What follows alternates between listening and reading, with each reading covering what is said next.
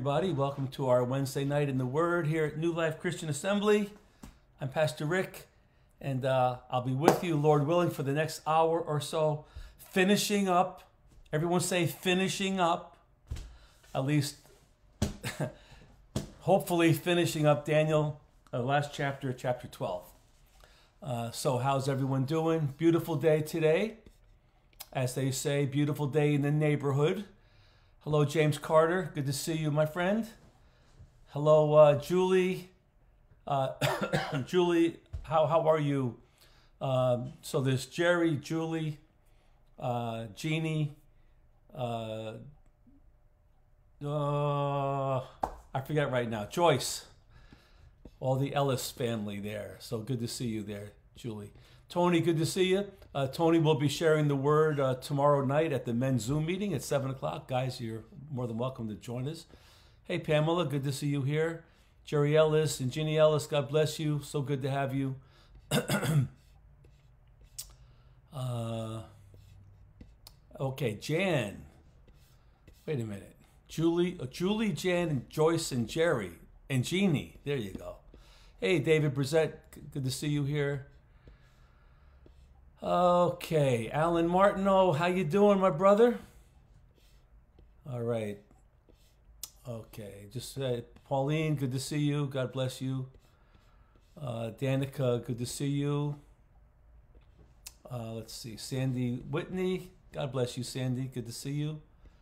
And Sandy, thank you for always responding to my emails. I really do appreciate that. Uh, Maleda, good to see you. Uh, okay, no rush to.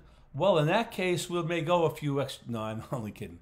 There's there's just so much in the book of Daniel. I mean, tonight you're going to see. We got to verse number 9 last Wednesday. so we have 9, 10, 11, 12, 13. but I want to rehash some of it because there's more. I, I, left out some stuff last week, so I want to get back into that. Anyway, all right. Uh, who we got? Else we got here? All right. Well, good to see you. Please hit your share button. I see 16 people on here right now. We've been averaging around 20 or so. I would love to hit 30.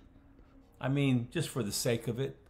If everyone hit your share button, maybe that would happen. I don't know. Is it worth a shot?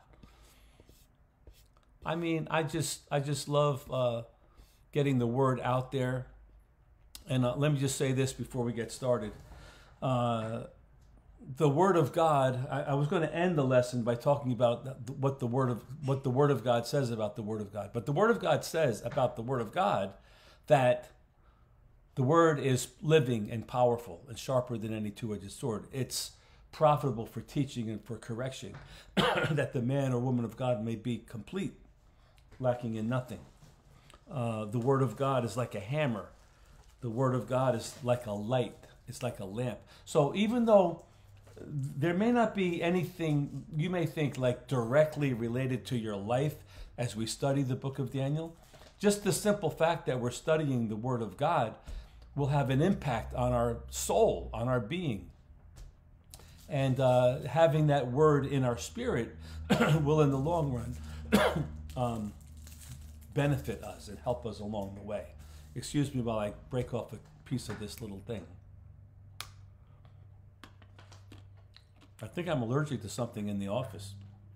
I'm fine all day long, but I come over here and I start to cough a little bit. All right, so anyway, let's go to the Lord in prayer.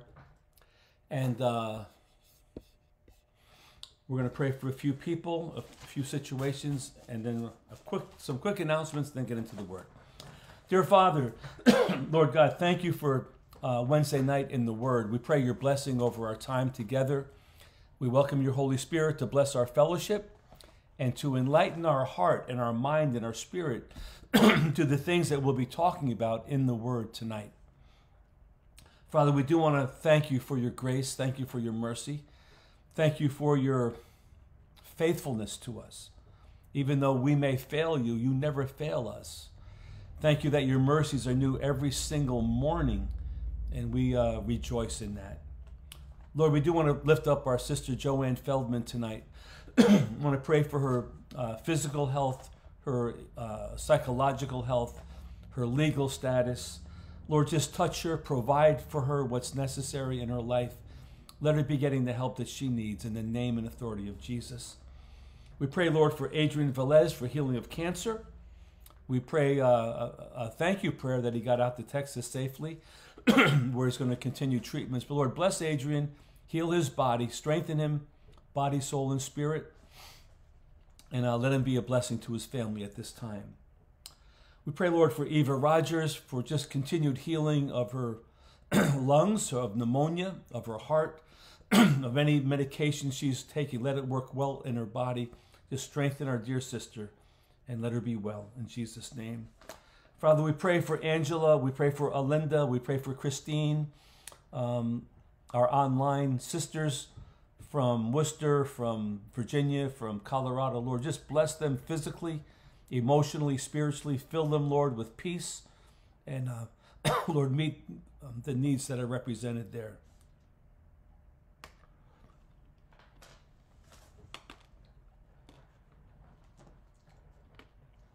Father, we lift up Lisa Jones to you and family as they deal with COVID.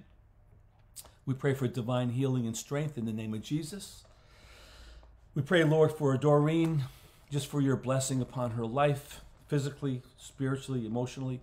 We pray, Lord, for marriages to be strengthened and encouraged. we pray for children's salvation in the name of Jesus. We pray, Lord, for anyone uh, dealing with uh, difficulties with finances, that your provision would be there. We pray, Lord, for the ministries at New Life, in particular, kids ministry and uh, youth ministry. Lord, we pray for both of these ministries to really, really take off, to be a blessing to many, many people in our community. We pray for leaders to rise up, especially in the area of youth ministry. We pray, Lord, for the men's and women's ministries as well uh, especially coming up this weekend. So, Lord, we give you praise. We give you all the glory and honor. We welcome your Holy Spirit, Lord, to just to just to teach us tonight what we need to know. But we bless you, we honor you, we give you all the praise. In Jesus' name we pray. Amen and amen. okay. Well, uh, as far as announcements go, there's a Brotherhood Zoom meeting tomorrow night, Thursday night at 7 o'clock. Um, Pastor Wayne will be in charge of that, and uh, Tony Casina will be uh, sharing the word. So that's great. Thank you, Tony, for doing that. Uh, this Friday is our sisterhood meeting uh, in the church sanctuary at 6:30. All the ladies are invited to come. Pamela will be sharing a special message. So uh, please come on out for some time of fellowship. I've been thinking about a, a new a new phrase or a saying I could put on the church sign out front uh, right now, it still says Happy Mother's Day, but I need to change that probably tomorrow.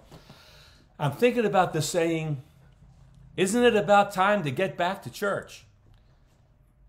Jesus is waiting, something to that effect. But I think, I think that is my theme lately. Isn't it about time to get back to church? If you can.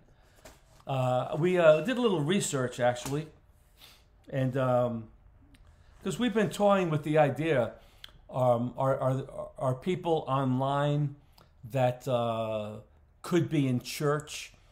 And you know what? I really don't think, I mean, Wednesday night, we're not in church anyway, so I'm not counting Wednesday. But Sunday morning, uh, I forget what the numbers are. We've been averaging anywhere from, I don't know, probably 10 or 12 to 20 or 25 on a Sunday morning. Uh, but um, it's been time to get back to church. Well, yes, that's right. But anyway, I, I don't think that we're that there are any people locally that are not coming to church because they're online. I don't think that's the case. I think there's people online that live out of town uh, that feel close to us, and we appreciate that and we love that, and I'm so happy for that. Uh, there's some locally that may be, you know, sickly or you know not able to come, and that's what it's there for. Uh, but I don't think that's the reason why our attendance is being affected. Everything I read about churches uh, in, in America, I, I, haven't really checked about other parts of the world, it's probably true. But every church is still reeling from the whole COVID situation.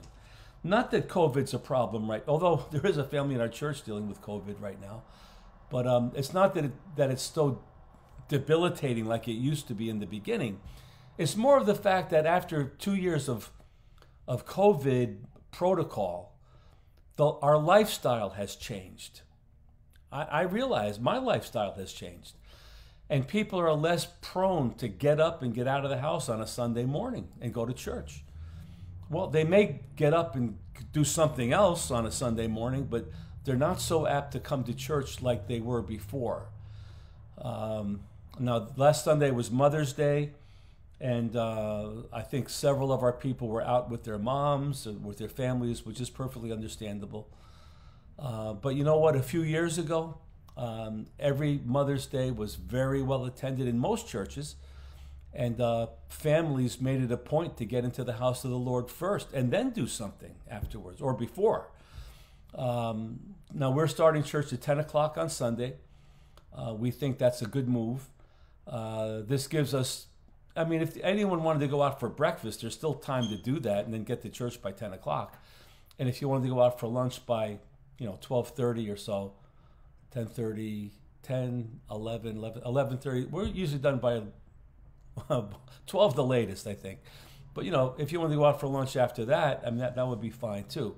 I'm just saying, I think ch- uh, our culture has changed and church hasn't uh, become, or, or, or, church hasn't maintained its importance like it used to be. Hello, Rob uh, La Fountain out in Illinois. God bless you. Good to see you, my friend. Uh, just talking about people, um, uh, Rob, uh, attending church online, and that's great, uh, but we're trying to push the local community to get back into church. Uh, let's see. James was saying something. We have never stopped, even even with the government shutdown. No, you know we've always been open, one way or the other. Um, oh, Stacy's here. Hi, Stacy on New Life Haverhill. Uh, Stacy, thinking about a theme for the sign out front. About time to get back to church, with a question mark. Jesus is waiting. Uh, let's see. Sandy was saying something. Uh, it gets very convenient to be sitting on your couch watching for the word, but you have to get back. Yeah, it's true. Yep, there's nothing like being in the house of the Lord. Hey, Lisa, good to see you. See, there you go. That's a good testimony. Well, I love going to church. I, I love going to church. I love, you know, meeting people and uh, sensing the excitement of people. I love worshiping with other people and making a big loud sound of praise to God. And, you know, uh, if I wasn't a pastor, I'd be in church. Let me tell you, I, I would guarantee you, I would be in church. Okay, Julie says, I'm at a higher risk, but this Sunday coming, I'll be back at my home church. All right, great. Uh, yeah, well, you see, if you have a health problem, you know, you, you know, people have extenuating circumstances, and that's perfectly acceptable, whatever you decide to do. I'm talking about people that, you know, they're very capable of getting up and getting into the house of the Lord, but I don't know that they're online either. I don't know what they're doing. It just makes the church mandate so much more important because you know we need to be praying for people, we need to be witnessing to people, sharing our life story, inviting people to church, etc., etc. I better stop talking so I can start teaching. How's that? Okay. Let's go to uh, Daniel chapter 12. We prayed, we talked, and everything. Uh, I like the 10 a.m. service because I'm behind you guys. And our service here starts at 10. so you could join our service at your 9 o'clock time and go to your service at 10. All right. All right. Who is this now? Tori, Tourney. Well, good to see you. Saying hello to Aunt Julie. All right, very good. Okay, uh, you know what? I have to stop looking at all the comments so I, I can get going here. Okay, chapter 12 of Daniel. It starts out at that time.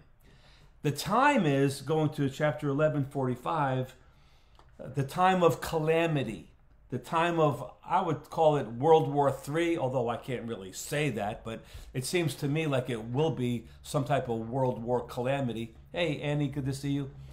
Um, at that, because verse 45 says uh, the Antichrist, you know, will will plant the tents of his palace between the seas and the glorious holy mountains. He shall come to this.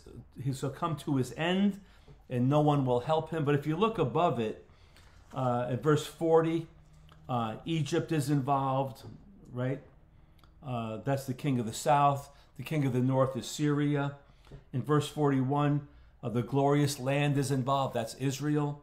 And then uh, you have Edom and Moab and the prominent people of Ammon. I looked that up just to make sure, but those areas are the present day uh, country of Jordan. Uh, Jordan, right now, is a city of a, uh, is this country of 11 million people. It borders on Asia, Africa, and Europe. It's to the east of Israel.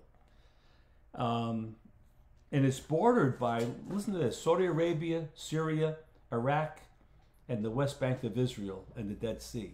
It's 97% Muslim, by the way. Um, and then you have, let's see, what else we have here. In verse 43, you have um, you have the countries of Egypt, which is the uh, king of the south, the Libyans, Ethiopians, those are the African nations, uh, North Africa, East Africa. Uh, so you have all these countries involved. Then you have uh, news from the east and from the north. You have China and Russia. You have all these nations involved in this tremendous calamity, uh, which marks, you know, the beginning of the end when, when Jesus will return. Last week we went to Revelation 19 at this point and read when Jesus intervenes. But anyway, chapter 12, at this time, when all this is going down, uh, Michael, uh, the warring angel, gets involved and uh, he, he'll stand up. The great prince uh, who stands watch over the sons of your people, that stands watch over Israel. So we could say the angel Michael is watching over Israel. Uh, there shall be a time of trouble. We talked about this from Jeremiah 30, uh, where, where it talks about Jacob's trouble. Um, we talked about Revelation 6:17, where this is when the Lord unleashes His wrath upon all the world, by in which we are delivered from. It says in Romans 5 9, we're saved from the wrath to come. So hallelujah, we're out of here but it is interesting to see it anyway. Um, and then the end of verse number one Israel is delivered, whose names are written in the book. We talked all about that. Okay, now verse number two. I want to talk about this because this is this opens up a discussion. Uh, many of those who sleep in the dust of the earth shall awake, some to everlasting life, some to shame and everlasting contempt. So this is one of the few references in the Old Testament regarding the resurrection of the dead. And I want to, I know we talked about it last week, but I want to go into it a little bit deeper. There's the raptured saints that will be resurrected. Now, that would include, even in this case, Daniel, because the dead in Christ will rise first, then we who remain will be caught up with the Lord to be with to meet him in the sky forever. Um, 1 Thessalonians 4. It, it pertains to the tribulation saints in Revelation 24 um, that uh, that get saved during the tribulation years or murdered during the and murdered, they will rise also. And then also it, it refers to the condemned. But the condemned don't rise until the very end of those thousand years, which happen after this, after the seven years of tribulation. So let's go uh, to Revelation 20, verse 5, real quick. Revelation 20, verse 5. Because, okay, so, okay. First Thessalonians 4 is the, is the, the saints, you know, the, the living saints, you know, that's the rapture. So there'll be a rapture before the tribulation. But during the tribulation, many people will get saved and will be killed. But in Revelation 25, it says, well, let's see. Maybe I don't have, maybe it's verse 4. I saw the thrones, and they, the, the saints of God, sat on them. Judgment was committed to them. Then I saw the souls of those who had been beheaded for their witness to Jesus and for the word of God, who had not worshipped the beast or his image, and had not received his mark on their foreheads or on their hands, and they lived and reigned with Christ for a thousand years. But the rest of the dead did not live again. So see, they, he saw they those people who died, they lived again. They they were raised. Um, now it doesn't say they were raptured, but they would have to. You would have to be the same type of thing. The dead were raised. Um, so they they lived again, but but then the rest of the dead did not live again until the thousand years was finished. This is called the first resurrection. So the first resurrection is the resurrection of the saints. And the first resurrection comes in two phases. The first phase is the rapture of the saints before the tribulation. The second phase of the first res- resurrection is after the seven year, or right at the end of the seven year tribulation, when those martyred saints who were dead, they died, but they will be resurrected too. They will live again. So that's the first resurrection. Now, this is going back to Daniel 12 too. It's pertinent um, because this is when a lot of this happens. Uh, then, though, uh, let me read in Revelation 25. It says, "The rest, the rest of the dead, the the condemned dead, that would be, did not live again until a thousand years was finished. This is the first resurrection. Okay. Um, Blessed and holy is he who has part in the first resurrection. Over such, the second death has no power. So the second death is, a, is uh, accompanied by the second resurrection. They shall be, but they shall be priests of God and of Christ and shall reign with him a thousand years. Okay, but the second death the second death will have no power over those who are a part of the first resurrection. So that, that makes sense. So let's say let's say we're raptured, and uh, then the seven year tribulation comes. Those people die. They're raised up. All of us who are saved and with the Lord, the second death, which really is pertaining to the the uh, final judgment, has has no power over us. We're we're immune. We're exempt from that. Hallelujah. Um, so then it says in, in uh, back in Revelation 20 um, and 13 and 14. Uh, so let's see. 11 and 12. It says, Then I saw a great white throne and him who sat on it, whose face the earth and heaven fled away, and there was found no place for them. That's the uh, those that were dead without redemption. I saw the dead, small and great, standing before God, and books were open. See the in, in, in Daniel 12, 1, the books uh, indicated who was going to be saved or not, but the books were open in the book of life. Uh, the dead were judged according to their works and by the things which were written in the books. The sea gave them up, gave up the dead who were in it, and death and Hades delivered up the dead who were in them and they were judged each one according to his works. Death and Hades were cast into the lake of fire. This is the second death. But see, the second death has no power and no authority over those of us that were caught up in the first resurrection. So before the second death, there had to be a second resurrection. So the first resurrection is once and for all, we're out of here. Death has no no place on us. But then there's going to be another resurrection of, of the dead, the dead not in Christ who will stand before God, and this will be their second death. The first death is a physical death, the second death is an eternal death and punishment. So remember the promises of Jesus. We, we who believe in, in the Lord, we have a promise of eternal what? Life. You know, we only die physically. We don't die again. you know, we live spiritually forever and ever. But those without Christ, they die physically and then they die spirit well not they don't die spiritually, but they die in a sense they die spiritually when they're cast into hell. They don't die, they're just tormented for the rest of uh, eternity. So they're dead in that sense. They're not not dead meaning non-existent. They're existing, but they're spiritually dead, which is a terrible situation. But isn't that interesting? Uh, now, Jesus talked about this. Let's go to Luke 14 4 for just a moment. I hope everyone's getting this. If you have any questions, please let me know. But Luke 14 4, um, this is at the end of a parable, uh, the parable of the ambitious guest.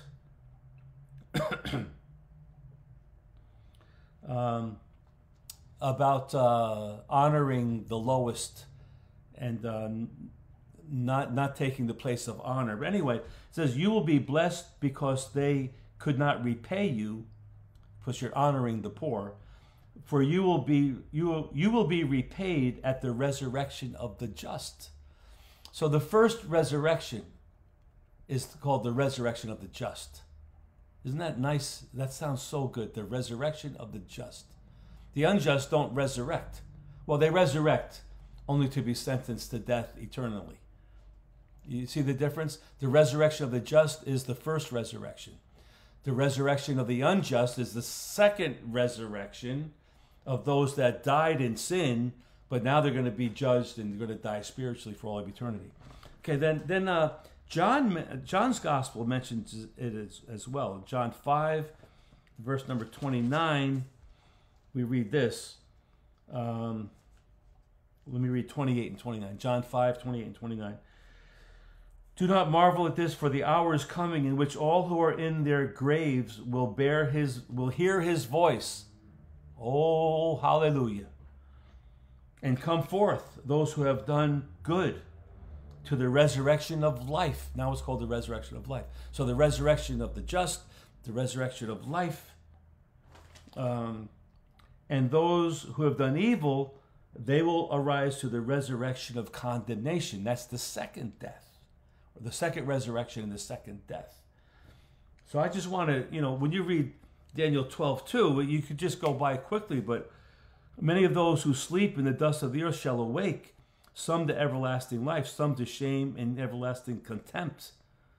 Um, yeah, that that that one verse um, goes goes deep into the the, the depths of the Word of God and the wisdom of God, which has implications on the fact that Jesus came in the first place to give us eternal life so that we're not condemned, condemned for all of eternity, you know, in a lake of fire. So I, I just really appreciate the depth of the Word of God. Now, you may say, well, what does that have to do with anything? you know you're saved you're everything's okay well you know what like i said before just the fact that you know it and you have it in your spirit you'll be better off for it because there there'll be time there'll be days coming you may feel discouraged or you may feel like overwhelmed or you may feel like whatever but when you think about you know what whatever happens i'm going to be okay and that that in and of itself will be a blessing to you and your family because you have you're standing on solid ground Life won't shake you. Life won't, you know, knock you down and, and bowl you over. Life won't overwhelm you because you know better. You know the end of the story. You ever hear that? Christians know the end of the story. We win. Well, this is how we win. We don't win because we're so good and strong. We win because Jesus won and we associate with him. He's won the battle. So I, I really appreciate this whole thing. And I, I just had to take time to talk about it tonight. Okay, so moving along, verse number three, uh, just a, a, a, verse that that kind of um, uh, kind of exemplifies a theme throughout the Bible that the righteous are are living in the light, shining as stars uh, in a dark world. It's just it's analytical. It's like an analogy. Those who are wise shall shine uh, like the brightness of the firmament. Those who turn many to righteousness will shine like the stars forever and ever. So the idea is to live a godly life, a righteous life, be evangelistic in some way or another, and uh, you'll, you'll be classified as those whose light is shining. Jesus said in Matthew 5, let your, let your light so shine before men that they'll see your good works and glorify your Father in heaven. Uh, he also said, Don't hide your light under a bushel, but let your light shine for all the world to see. So that's, that's really important. Okay, verse number four. You, Daniel, shut up the words sealed the book until the time of the end. We talked about this. Many shall run to and fro, and knowledge shall increase. I, I just wonder um, about the time of the end. You know what? I have a theory. Can't prove anything. I haven't read this anywhere. Just in my heart of hearts, I, I would remember when I first heard about the Azusa Street revival. Now that's a that's a word. Uh, here, I'll write it down. A Z U S A. Street revival. Oops. Okay, all caps. Um, that Azusa Street revival, in my mind and spirit, was was a real uh, pivotal point in in church life and church history, because uh, I remember studying it. It was in the early 1900s. At the end of the 1800s, America was going through the Industrial Revolution. Uh, the Civil War was over. Uh, a lot of movement, a lot of immigration. Everyone, you know, the country was just booming in many many ways. Um, eh, but there was a there was a lack of spirituality in most of the mainline churches, and this Azusa Street revival started in Los Angeles uh, it was birthed in, in Pentecost. You know what that means? It was birthed with an anointing of the Holy Spirit, uh, with um, what we would call the full gospel message, the full gospel, uh, meaning the belief of the gifts of the Holy Spirit, uh, healings, miracles, signs and wonders, speaking in tongues, the whole deal. Um, that's the that's the full gospel.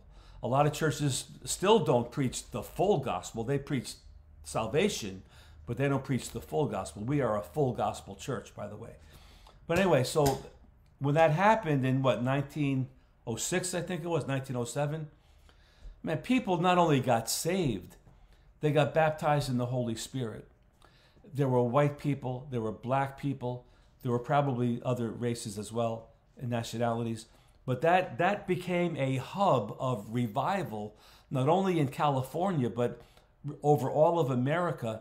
And after a year or two, people were coming from other parts of the world to come to this Azusa Street revival. And uh, it's almost like a modern day day of Pentecost from Acts chapter 2. Because in Acts chapter 2, you have all these, all these Jewish people coming from all over the region different countries coming to Jerusalem that day to celebrate Pentecost, you know, the Old Testament Pentecost, which is the ingathering of the wheat. But now the Holy Spirit falls upon the, the 120 believers in the upper room, Acts 1 and 2, and they're all speaking in tongues and they're filled and they're empowered and and Peter's preaching and 2,000 or is it 3,000? I forget right now. Uh, how can I forget that? 3,000, sorry. 3,000 people got saved and the church was birthed. You know, that's the that's the birth date of the church when Pentecost fell and, and they spoke and, and 3,000 people got saved and baptized. Well, fast forward to like 1906, 1907, and this little revival breaks out.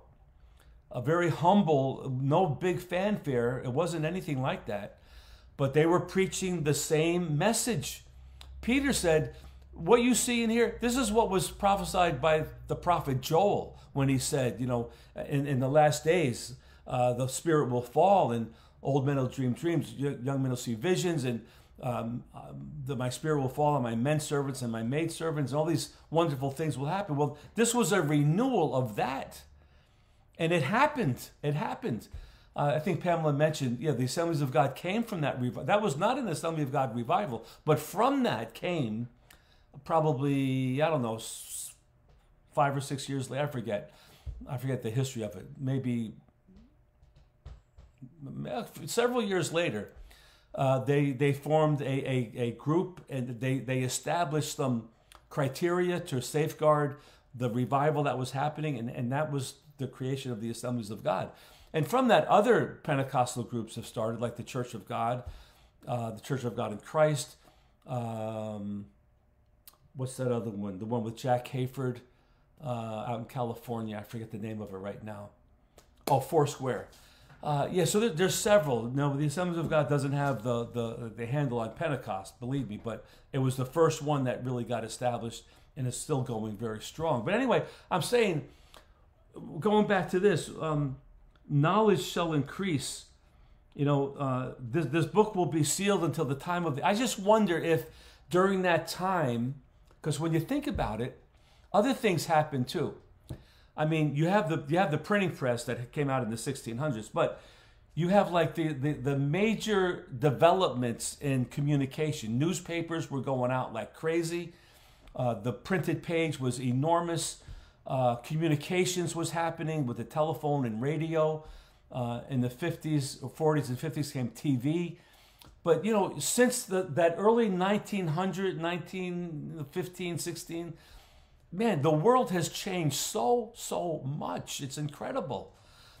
And so from then until and now now throw on top of that the computer age and and the rate of information that's being shared now compared to what it was 10 or 15 or 20 years ago it's astronomical what's happening now.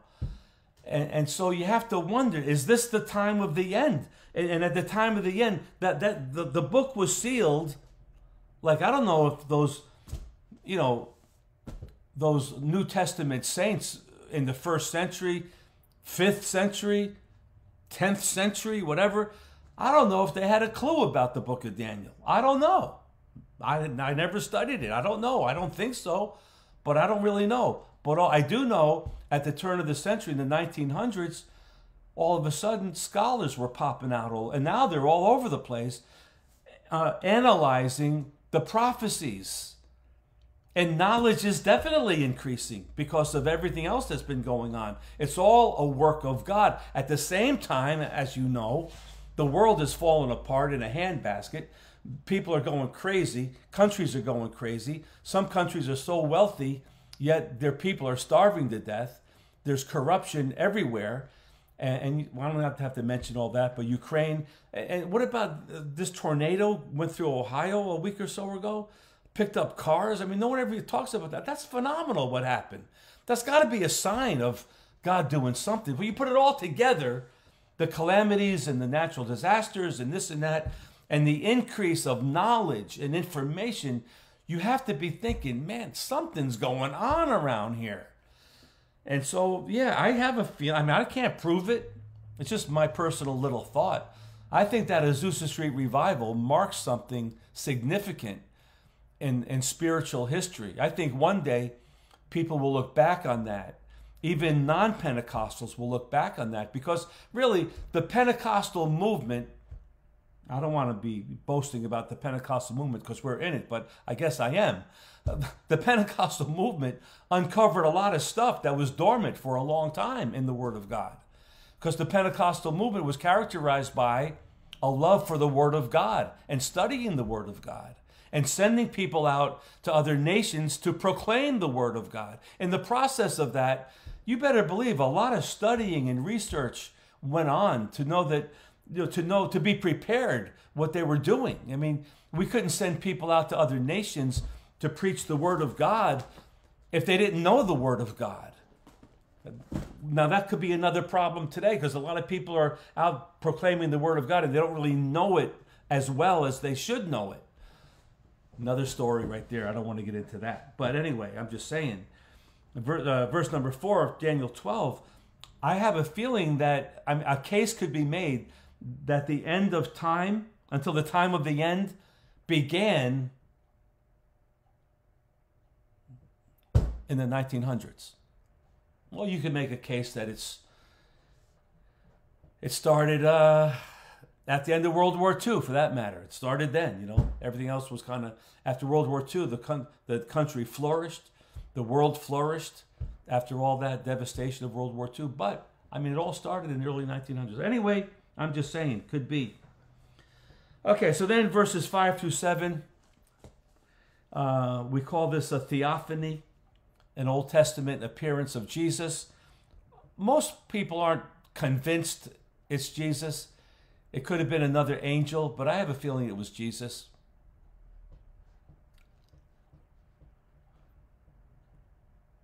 Sandy, Jesus did say that that at the end times there'll, there'll be signs. You know, there will be signs, and we see all the signs. They're all happening. They're all happening. The, the rebirth of Israel, Alan. The, the, you know, everything's. Look, let me put it this way: If Jesus came back tomorrow, we shouldn't be surprised. Because, okay, then people say, well, you know, the temple has to be rebuilt over there. Well, you know what? It doesn't have to be rebuilt before the, the uh, before the rapture comes. It has to be rebuilt before uh, Jesus comes back to the earth. So after the rapture, there's going to be seven years, at least, and who knows what could happen during that time. Someone will say, "Well, the gospel has to be preached to all the world before the end." Well, that's true, but we're close to it now, by the way. But after the rapture, what I think is this is another one of my personal thoughts. Hey, Millie Cobbett, um, I'm just telling you what's on my heart, what's on my spirit. Um, after the rapture happens, with all the technology in place, right? Internet, you know, whatever. Well, internet, basically. But radio, TV, you know, whatever. Cable after the rapture takes place, I think the whole world, I mean, the whole world is going to be researching what just happened. And when these nations do that, they're going to come across this thing called the rapture of the saints. Oh, oh, that. Oh, the gospel. Jesus. Oh, I have a feeling after the rapture, a lot of lot of people are going to be exposed to the gospel. Now that does, doesn't mean they're going to accept it, but it doesn't say they're going to have to have to accept it. It says they will all have to hear it. So I think they're all going to hear it. That's my thought anyway. Can't prove it, just my thought. Okay, so verses 5 through 7, a theophany. So Daniel looked, there were three, three what? Three beings there was one talking with them, that was Gabriel. Gabriel, we think it was Gabriel because he spoke in Daniel 9. Daniel, uh, Gabriel seems to be the messenger angel. And now there's two others with them, right? There stood two others with them, one on, the, one on this river bank and the other on that river bank. And, and one, uh, the man clothed in linen, was above the waters on the river. So you have one angel here, one angel there, and another being on top of the water. I think that's Jesus. Most people would say that's Jesus. And and so Daniel cries out and he says, "How long shall the fulfillment of these wonders be?" And uh, verse number seven. Verse number seven is great. It says, "I heard the man clothed in linen who was above the waters of the river, when he held up his right hand and his left hand to the heavens, he swore by him who lives forever." That it shall be for a time, times, and half a time. And when the power of the holy people has been completely shattered, all these things will be finished. Translated, one a time is a year, times is two years, half a time is half a year. So three and a half years. So in three and a half years, when um, when the power of the holy people has been completely shattered, paraphrase, when Israel breaks, when Israel finally yields and surrenders to the lordship of Jesus Christ, all these things will be finished. At the end of the three, so the end of the three and a half years is the end of the seven year period. It's divided into, into two halves, three and a half and three and a half. The last three and a half is called the Great Tribulation. So after that, after that seven years or the second three and a half years, when the holy people are shattered. Now that that that means they're broken before God. They accept Jesus finally, which was the whole point of the seven year tribulation. The whole point of, of the tribulation time is, is for God to deal with Israel. Remember this, the scenario. Yeah, Old Testament, it's all about Israel. Jesus comes, okay, from the day of Pentecost till, until the rapture, it's all about the Gentiles, called the church age. I mean, some Jews are getting saved, but it's, it's basically about the rest of the world. So Old Testament is basically all about Israel. New Testament, up until the rapture, is all about the Gentiles. Once the rapture happens, it's back to Israel again for those seven years. I learned that from Brother Siriano, and I, I, when he told me, I didn't really get it. I get it now. It makes perfect sense to me. God made a covenant with Abraham and Moses and David, and He will not uh, relinquish His promises to Israel. He wants. This is how faithful God is. Through through Israel came Messiah. There's a special bond with the with Israel and God, and He will not relinquish or not not disrupt that covenant, that promise He made with Israel. He will give them every chance to receive Messiah. So, question only from Israel have a second chance?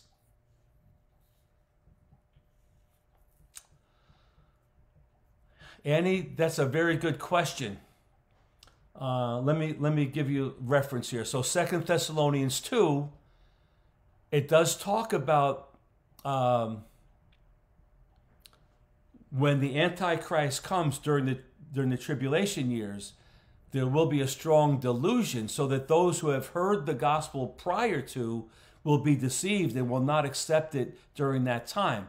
So your question is only Israel has a second chance. There is something about that because, uh, as someone said, the two witnesses are out there. The 144,000 are out there proclaiming the word of God primarily to the Jews, but not only to the Jews. So I think I think uh, the second chance question I, am not settled on that. Second Thessalonians two, I, I'm not settled on it because it seems out of the character of God to not allow people to have a second chance. What it may be, be referring to in, in 2 Thessalonians 2 is that for those people who hardened their heart against God in the first place, most likely they're going to keep their heart hardened to God even after the rapture because they'll be deceived. That's probably what that means. But as far as someone with a good soul and a, a I don't know, uh, it, it, it, it seems anti the anti character of God to, to refuse people. But any in any case, well, yeah, because okay, let's say the rapture happens right now. So then there's going to be 144,000 Jews that preach the word of God at some point in the next seven years. So is that to say that they never heard about Jesus? I mean, it's 2022. I think every Jew, because most most Jewish people live in developed countries, they've heard the gospel. They've heard of the gospel at least. And so, you know, that thing about the second chance, the, the Jews definitely will have another chance, obviously. But uh, about the Gentiles having another chance, I, I, I'm not clear on that yet. I can't say definitely, but I, I think they will, unless they've already hardened their heart. But interestingly, in Revelation, when you really when we studied it a few years ago on Wednesday nights, we found out even after all the judgments, all the calamities, all the wars, all the, everything's going on, there will still be multitudes of people that hardened their heart against God. They still will not repent. And you think, what is the matter with these people? You know, well, they're deceived. Now, does that mean everybody will be deceived? No, it can't be because we know there will be people who are saved during the tribulation. Will they be Jews? Yes. Will they be Gentiles? I would say yes, they would have to be. So, good question. Uh, I need further study on that. Uh, right, Sandy, right. Good people. Uh, yeah, that's right. Good people does not mean saved people. Uh, so, but are not a lot of good people not going to, a lot of good people are not going to heaven. Being good does not mean being saved. I mean, you could make a case for a lot of bad people are going to heaven because they repented and got right with God, but they're, you know, they have a reputation of being bad, but now they're cleansed, washed in the blood. Okay, can you see why this takes a long time? There's so much in here. You just can't you just can't run through it. So anyway, um, verse number seven: Israel is left by herself finally uh, to deal with God and and and, and the Lord. Uh, oh, Ta- Tanya, Are you the young lady in uh, Pakistan, right? Good to see you again. God bless you. So, anyway, so so verse seven kind of goes with with verse number one. Uh, Israel will be saved. This is what Paul addresses in Romans 9 10, uh, 9, 10 and 11. There is a special thing about Israel. You have to admit there's something special. And God, God, it's because of those promises that were made, you know, before. Okay, so verse number eight, Daniel says, Although I heard, I did not understand. And I said, My Lord, what shall be the end of these things? Let me uh, let me go over to First Peter because I just want to say something about the prophets. I mean, you have to understand these prophets. They didn't know about Jesus. you know, I mean, we're looking back on it. It's like us looking at the future prophecies. You know, we don't know exactly how it's going to come down. But listen to what it says. There's one in First Peter and one in Second Peter. But 1 Peter 1, verses 10 through 12. Of this salvation, the prophets have inquired.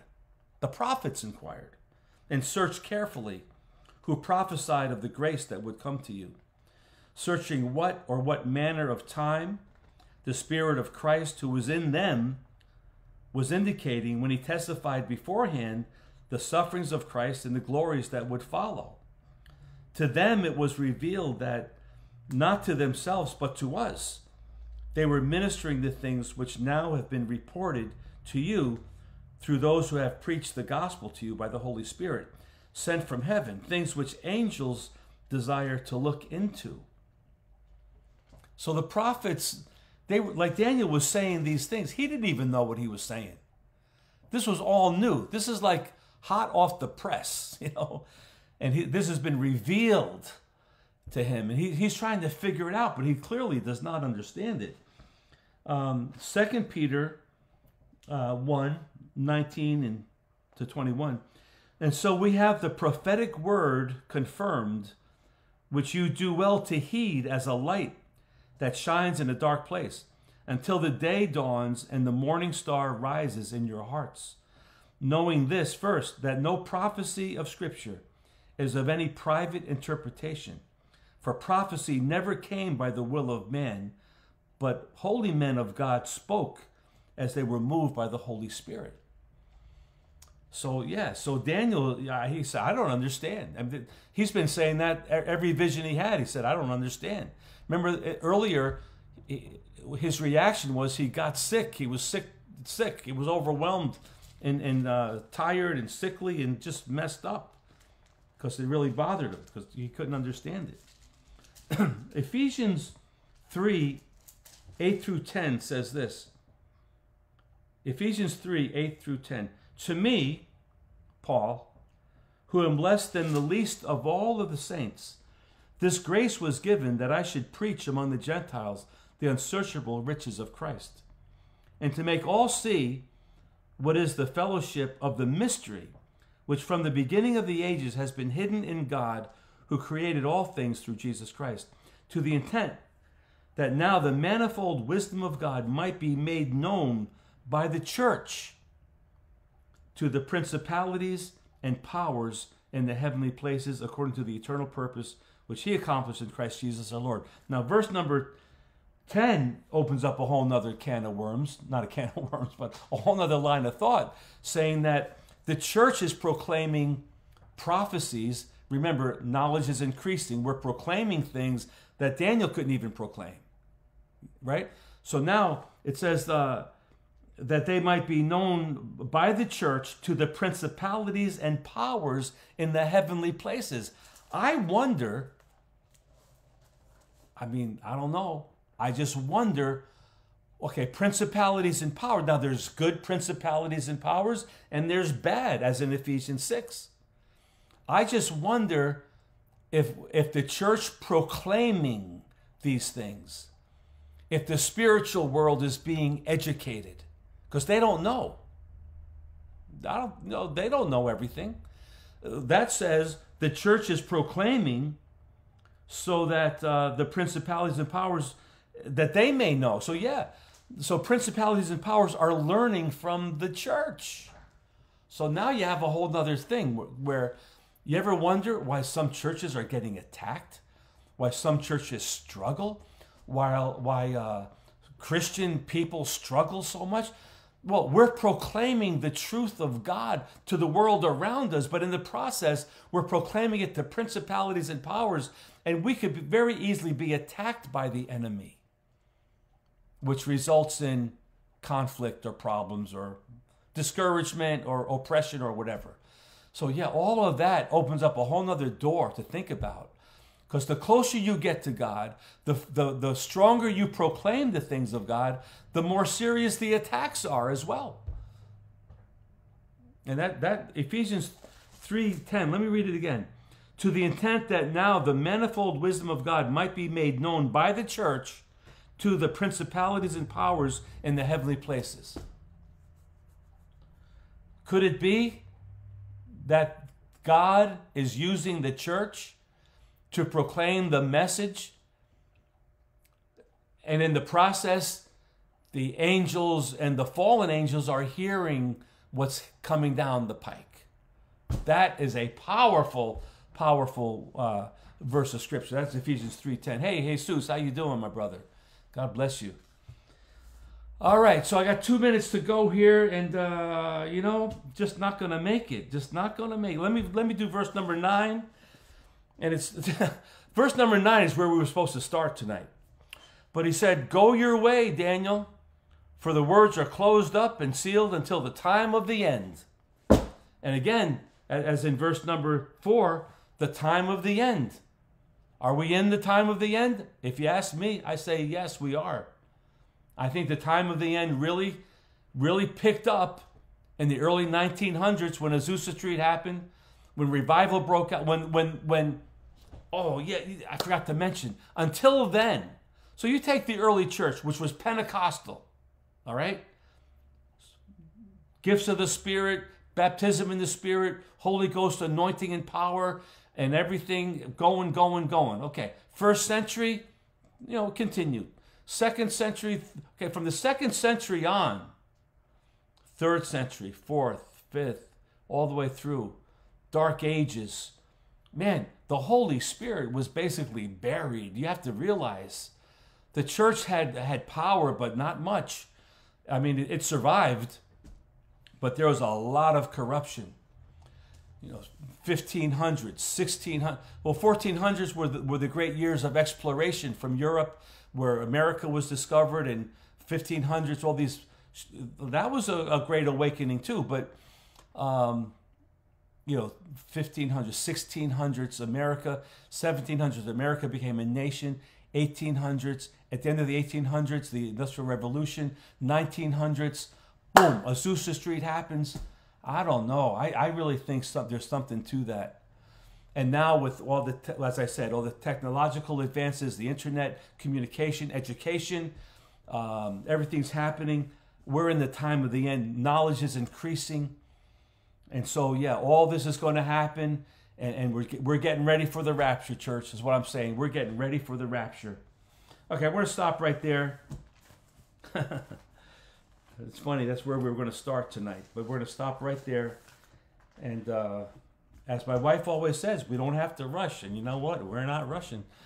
Okay, Jesus, we are in a spiritual battle. The enemy only has the power that you choose to give him. He is already been defeated in Jesus' mighty name. Hallelujah. Amen and amen. That's right. That's right.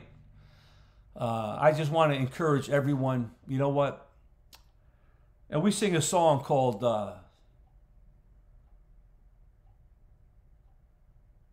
uh, what's the name of it? I'm going to see a victory. I think the name of it is. Yeah, we, we have a victory. We have a victory. And I just want to encourage everyone stand in your victory.